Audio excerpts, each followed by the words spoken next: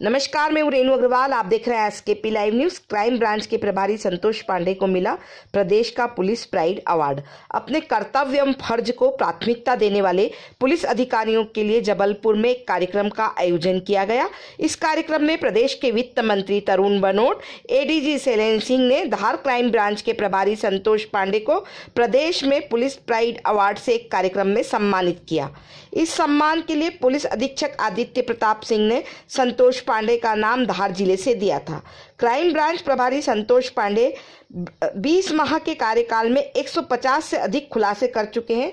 श्री पांडे को भोपाल, इंदौर में crime branch में रहे, वही एसटीएफ में भी अपनी सेवाएँ दे चुके हैं।